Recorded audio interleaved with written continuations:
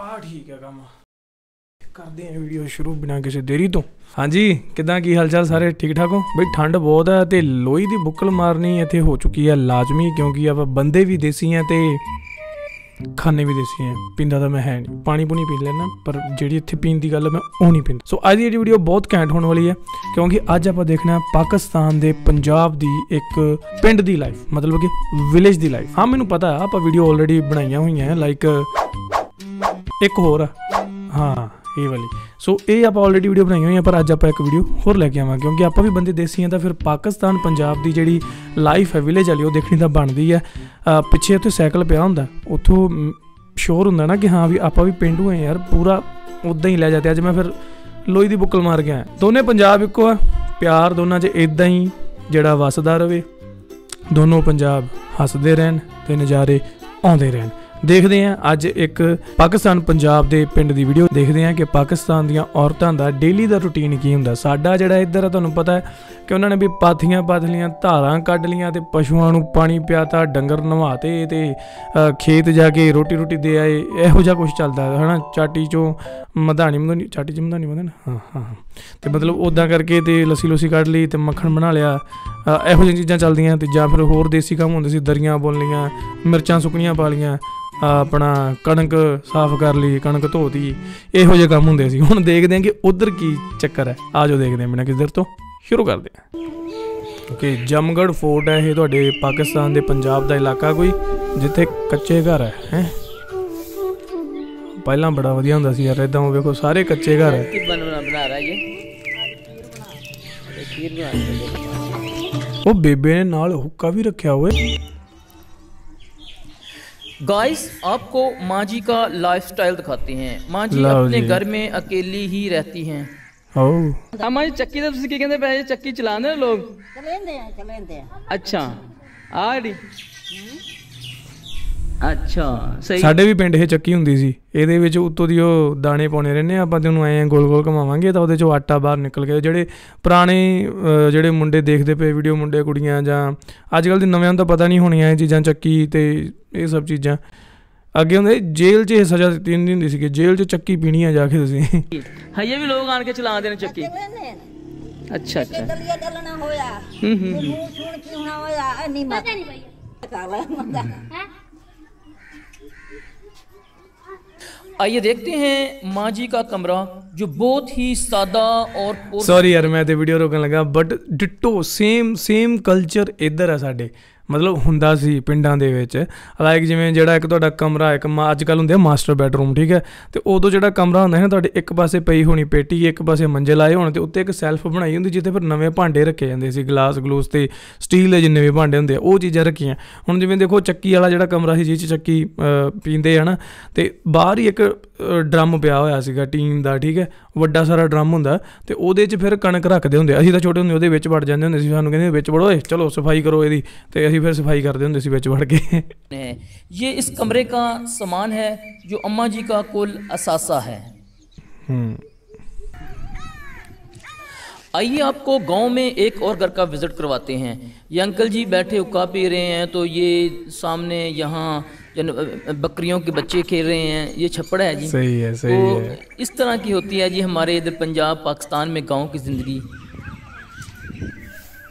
ਸਭ ਤੋਂ ਸਦਾਬਹਾਰ ਲਾਈਫ ਹੈ ਯਾਰ ਇਹ गाइस अगर बात की जाए पंजाब पाकिस्तान के गांव में औरतों की जिंदगी की तो पंजाबी औरतों को घर के काम के अलावा खेतों में भी काम करना पड़ता हाँ। है ਨਰਮਾ ਚੁਗਣ ਵੀ ਜਾਣਾ ਪੈਂਦਾ ਹੁੰਦਾ ਸੀ ਭਰਾ ਅਮਾ ਜੀ ਇੱਥੇ ਕੀ ਰੱਖਦੇ ਜਿੰਦੇ ਵਿੱਚ ਇਹ ਤਾਂ ਬਸ ਇਹਨੂੰ ਤਾਂ ਭਾਂਡਾ ਛਾਂਡਾ ਰੱਖ ਦਿੱਤਾ ਅੱਛਾ ਹੁਣ ਤਾਂ ਘੜੇ ਹੀ ਪਏ ਨੇ ਹੁਣ ਤੇ ਇਹ ਖੜੇ ਖੜੇ ਪਏ ਅੱਛਾ ਇਹਨੂੰ ਕਹਿੰਦੇ ਕੀ ਨੇ ਇਹ ਸੰਪਰੇ ਨੇ ਦਹੀਂ ਗਈ ਗਈ ਗਈ सही सही सही सही जी दोस्तों तो ये डेजर्ट विलेज का एक खूबसूरत मंज़र है। आजकल सहरा में चारा ना होने की वजह से जानवरों को घर में ही चारा डाला जाता है। तो लाइट भी बहुत घट है। तो लाइट है नहीं शायद इस गाँव में। हाँ एक टाइम दा। अच्छा अच्छा। मुख्तलि फ़र्क ने सही। ਅਵੇ ਗਾਵਾਂ ਮੱਝਾਂ ਦਾ ਵਾੜਾ ਰੱਖਿਆ ਹੋਇਆ ਸੀ ਵੀ ਉਹਨਾਂ ਨੇ ਯਾਰ ਜਿਹੜਾ ਚੁੱਲ੍ਹੇ ਦਾ ਸਾਗ ਹੈ ਨਾ ਉਹ ਜ਼ਹਿਰ ਗੈਸ ਕੀ ਵਾਲੇ ਬਣਵਾ ਸਾਗ ਦਾ ਬਣਾ ਰਿਹਾ ਨਜ਼ਾਰਾ ਜੀ। ਨਹੀਂ ਆਉਂਦਾ अच्छा खीर बना देता चलो माशाल्लाह खीर वाह वाह वाह जी नाज़रीन, तो माशाल्लाह ये ऊँटों वाले लोगों का लाइफ स्टाइल है ये शाम के वक्त के मनाजर हैं और शाम के वक्त ऊँटों के बच्चे अपनी माओ के साथ रात गुजारने के लिए बैठे हुए हैं ਹੂੰ, ਵਾਹ, ਕਿੰਨਾ ਸੋਹਣਾ ਮੰਜ਼ਰ ਹੈ ਯਾਰ ਭਾਵੇਂ ਭਾਵੇਂ ਜਾਨਵਰ ਹੈ ਦੇਖੋ, ਫਿਰ ਵੀ ਜਿਹੜਾ ਉਹਨਾਂ ਦੇ ਵਿੱਚ ਇੱਕ ਰਿਸ਼ਤਾ ਹੈ, ਇੱਕ ਮਾਂ ਤੇ ਪੁੱਤ ਦਾ ਰਿਸ਼ਤਾ, ਉਹ ਸਾਰੇ ਜਾਨਵਰਾਂ 'ਚ ਇਦਾਂ ਹੀ ਆ, ਤੁਸੀਂ ਦੇਖਿਆ ਹੋਣਾ ਕਦੇ ਵੀ। ਸਭ ਥਾਵਾਂ ਤੇ ਆਹੀ ਚੀਜ਼ ਆਪਾਂ ਨੂੰ ਦੇਖਣ ਨੂੰ ਮਿਲਦੀ ਹੈ। ਕਿਤੇ ਭਰਤੀ ਪਾਈ ਜਾ ਰਹੀ ਹੈ, ਉਹ ਤੁਹਾਡੀ ਉੱਪਰ ਹੀ ਚੜਾਦੀ ਟਰਾਲੀ ਦੇ ਟਰੈਕਟਰ ਕੀ ਬਾਤ ਹੈ। 480 ਹੈ।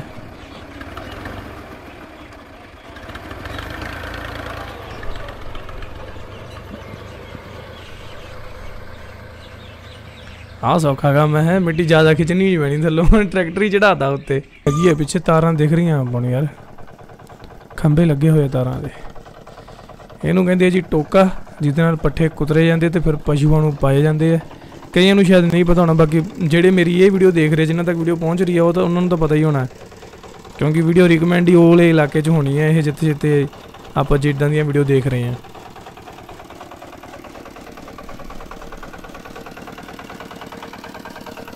ਇਹ ਟੋਕੇ ਨੂੰ ਚਲਾਉਂਦੇ ਵੀ ਬੜੇ ਜਗਾੜ ਲੱਗਦੇ ਆ।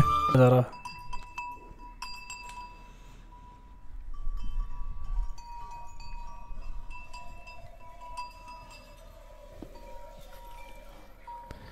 ਇਹ ਦੁਬਾਰਾ ਉਹੀ ਕਲਿੱਪ ਆ ਗਈ ਹੈ ਵਿੱਚ ਤੇ ਲਓ ਜੀ ਗਾਇਜ਼ ਇਹ ਸੀਗੀ ਇੱਥੇ ਇੱਕ ਅੱਜ ਦੀ ਇੱਕ ਵੀਡੀਓ ਜਿਹਦੇ ਵਿੱਚ ਆਪਾਂ ਦੇਖ ਰਹੇ ਹਾਂ ਇਹ ਚੀਜ਼ਾਂ ਸਾਰੀਆਂ। ਜਿਹੜੀ ਕਿ ਲਗਭਗ ਹੁਣ ਵੀਡੀਓ ਹੋ ਗਈ ਹੈ, ਖਤਮ। ਇਹ ਇੱਕ ਛੋਟੇ ਜਿਹੇ ਪਿੰਡ ਦਾ ਵਾਕਿਆ ਸੀ। ਪਿੰਡ ਦਾ ਨਾਮ ਕੀ ਸੀਗਾ? ਸਟਾਰਟਿੰਗ ਤੇ ਦੱਸਿਆ ਸੀਗਾ, ਹਨਾ? ਸੋ ਦੇਖੋ ਇੰਡੀਆ ਤੇ ਪਾਕਿਸਤਾਨ ਇਹੋ ਜੀਆਂ ਕੰਟਰੀਆਂ ਜਿਹਦੇ ਵਿੱਚ ਕੰਟਰੀਆਂ, ਦੇਖੋ, ਇਹ ਤੋਂ ਪਤਾ ਲੱਗਦਾ ਦੇਸੀਆਂ ਦਾ।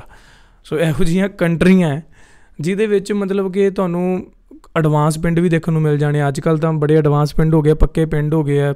ਐਡਵਾਂਸ ਟੈਕਨੋਲੋਜੀ ਨਾਲ ਬਣੇ ਹੋਏ ਆ। ਠੀਕ ਹੈ, ਹਰ ਜੀਵਨ ਦੀ ਸਹੂਲੀਅਤ ਤੁਹਾਨੂੰ ਉੱਥੇ ਮਿਲ ਜਾਂਦੀ ਹੈ। ਤੇ ਪੂਰੇ ਬਾਜ਼ਾਰਾਂ ਦੇ ਬਾਜ਼ਾਰ ਮਿਲ ਜਾਂਦੇ ਆ। ਪਰ ਕਈ ਥਾਵਾਂ ਤੇ ਇਹੋ ਜਿਹੇ ਵੀ ਹੈ ਜਿੱਥੇ ਹਜੇ ਵੀ ਪਿੰਡ ਜਿਹੜੇ ਆ ਕੱਚੇ ਹੀ ਹੈ ਤੇ ਉੱਥੋਂ ਦੇ, ਉੱਥੇ ਜਾਂਦੇ ਰਾਹ ਵੀ ਕੱਚੇ ਆ। ਪਿੰਡ 'ਚ ਨਾ ਕੋਈ ਸਕੂਲ ਹੈ ਨਾ ਕੋਈ ਹਸਪੀਟਲ ਹੈ ਨਾ ਕੋਈ ਡਿਸਪੈਂਸਰੀ ਹੈ ਉਹਨਾਂ ਨੂੰ ਵੀ ਨਾਲ ਦੇ ਵੱਡੇ ਪਿੰਡਾਂ 'ਚ ਜਾਣਾ ਪੈਂਦਾ। ਜਿਵੇਂ ਹੁਣ ਆਪਾਂ ਆਹ ਪਿੰਡ ਦੇਖ ਰਹੇ ਹਾਂ ਦੇਖੋ ਇਹ ਕੋਈ ਰੇਗਿਸਤਾਨ ਦਾ ਪਿੰਡ ਹੈ ਜਿੱਥੇ ਹਜੇ ਵੀ ਜਿਹੜੇ ਕੱਚੀਆਂ ਕੰਧਾਂ ਉਹ ਪਹਿਲਾਂ ਗਾਰੇ ਨਾਲ ਬਣਾਉਂਦੇ ਹੁੰਦੇ ਸੀ ਘਰ, ਮਿੱਟੀ ਨੂੰ ਗਿੱਲੀ ਕਰਕੇ ਤੇ ਵਿੱਚ।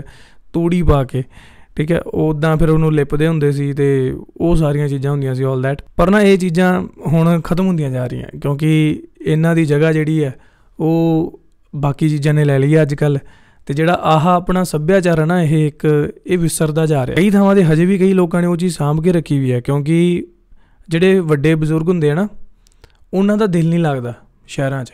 ਜਿਵੇਂ ਹੁਣ ਮੇਰੇ ਦਾਦਾ ਜੀ ਨੂੰ ਇਸ ਦੁਨੀਆ ਤੋਂ ਗਏ ਨੂੰ ਕਾਫੀ ਸਾਲ ਹੋ ਗਏ ਪਰ ਜਦੋਂ ਉਹ ਸਾਡੇ ਕੋਲ ਸ਼ਹਿਰ 'ਚ ਉਹਨਾਂ ਨੂੰ ਲੈ ਕੇ ਆਉਂਦੇ ਸੀ ਨਾ, ਉਹ 2 ਦਿਨ ਤੋਂ ਵੱਧ ਉਹ ਰਹਿ ਨਹੀਂ ਪਾਉਂਦੇ ਸੀ।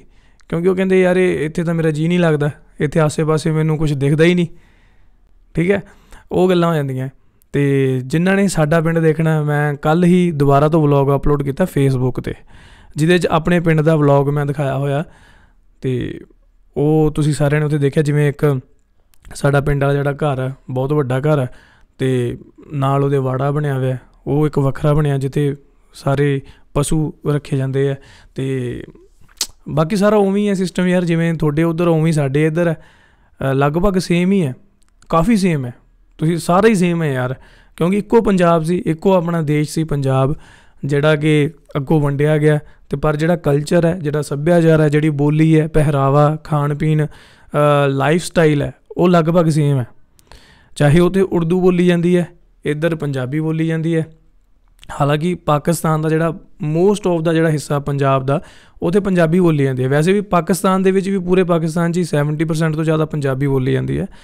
ਸੋ ਇੱਧਰ ਵੀ ਪੰਜਾਬੀ ਬੋਲੀ ਜਾਂਦੀ ਹੈ। ਪਰ ਫਿਰ ਵੀ ਚੱਕਰ ਹੈ ਹੈ ਰੌਲਾ ਦਾ ਰੌਲਾ ਕਾਹਦਾ ਹੈ? ਕਿ ਸਕੂਲਾਂ ਦੇ ਵਿੱਚ ਪੰਜਾਬੀ, ਪੰਜਾਬ ਦੇ ਵਿੱਚ ਹੀ ਤੀਜੀ ਚੌਥੀ ਕਲਾਸ 'ਚ ਲੱਗਦੀ ਹੈ।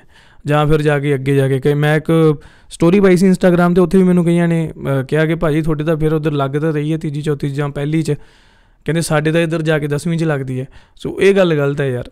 ਇੱਥੇ ਪਤਾ ਨਹੀਂ ਇਹ ਹਮੇਸ਼ਾ ਪੰਜਾਬ ਨੂੰ ਕਿਉਂ ਮਤਲਬ ਕਿ ਦਬਾਉਂਦੇ ਆ, ਮੈਨੂੰ ਤਾਂ ਸਮਝ ਨਹੀਂ ਆਉਂਦੀ ਵੀ ਹੋਰ ਜਿਹੜੇ ਜਿੰਨੀਆਂ ਵੀ ਸਟੇਟਾਂ, ਉਹਨਾਂ ਦੀ ਕਿਤੇ ਵੀ ਤੁਸੀਂ ਸਾਈਨ ਬੋਰਡ ਦੇਖਦੇ ਹੋ, ਸੜਕਾਂ ਤੇ ਦੇਖਦੇ ਹੋ, ਕਿਤੇ ਵੀ ਦੇਖਦੇ ਹੋ ਜਾਂ ਸਰਕਾਰੀ ਕੰਮ ਹੋ ਰਿਹਾ ਤਾਂ ਜਿਹੜੀ ਉਹਨਾਂ ਦੀ ਮੇਨ ਲੈਂਗੁਏਜ ਆ, ਉਸ ਸਟੇਟ ਦੀ, ਉਹ ਸਟੇਟ ਦੀ ਲੈਂਗੁਏਜ ਪਹਿਲਾਂ ਲਿਖੀ ਹੈ, ਫਿਰ ਉਸ ਤੋਂ ਬਾਅਦ ਨੈਸ਼ਨਲ ਫਿਰ ਉਸ ਤੋਂ ਬਾਅਦ ਇੰਗਲਿਸ਼ ਠੀਕ ਹੈ? ਪਰ ਸਾਡੇ ਵਾਰੀ ਪਤਾ ਨਹੀਂ ਕੀ ਹੋ ਜਾਂਦਾ।